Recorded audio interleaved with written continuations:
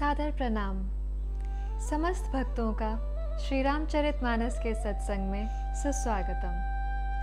इस अत्यंत शोभामयी पाठ में गोस्वामी तुलसीदास जी आगे लिखते हैं। मैं अपनी दिसे किन्ह निहोरा, तिन्ह निज और ना लाऊ भोरा। बायस पलिए ही अति अनुरागा, हो ही निरामिश कभू की कागा। भावार्थ, मैंने अपनी ओर से विनती की है, परंतु वे अपनी ओर से कभी नहीं चूकेंगे। कौओं को बड़े प्रेम से पालिए, परंतु वे क्या कभी मांस के त्यागी हो सकते हैं?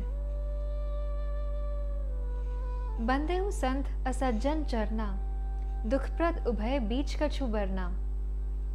बिचरत एक प्राण हरि लेही, मिलत एक दुख दारुण देही। भावार्थ अब मैं संत और असंत दोनों के चरणों की वंदना करता हूँ। दोनों ही दुख देने वाले हैं, परंतु उनमें कुछ अंतर कहा गया है। वह अंतर यह है कि एक तो बिछुड़ते समय प्राण हर लेते हैं और दूसरे मिलते हैं तब दारुण दुख देते हैं। अर्थात संतों का बिछुड़ना मरने के समान दुखदाई होता है और असंतों का मिलना। उपजही एक संग जग माही जलत जोग जिमी गुण बिल गाही। सुधा सुरासम साधु असाधु, जनक एक जग जलदिया गाधु। भावार्थ, दोनों, संत और असंत, जगत में एक साथ पैदा होते हैं। पर, कमल और जोंक की तरह उनके गुण अलग अलग होते हैं। कमल, दर्शन और स्पर्श से सुख देता है। किंतु जोंक शरीर का स्पर्श पाते ही रक्त चूसने लगती है।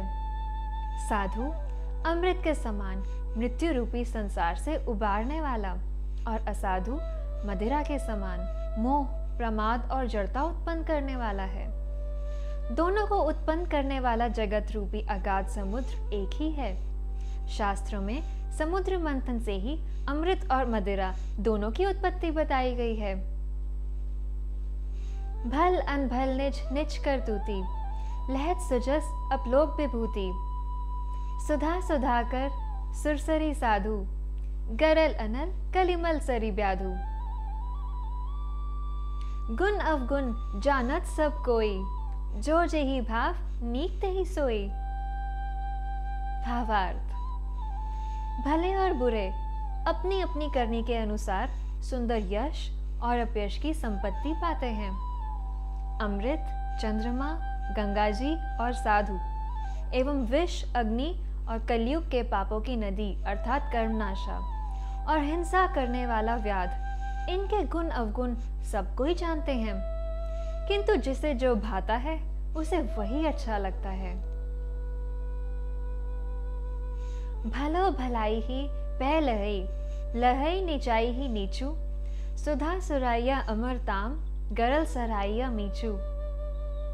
भावार्थ, भला, भलाई ही ग्रहण करता है और नीच, नीचता को ही ग्रहण किए रहता है। अमृत की सराहना अमर करने में होती है और विष की मारने में। इस आवश्यक सत समागम में हमारे साथ निरंतर मनन कर इसे अधिकतम उपयोगी मानते सभी साधकों का जीवन अति आनंदमय हो।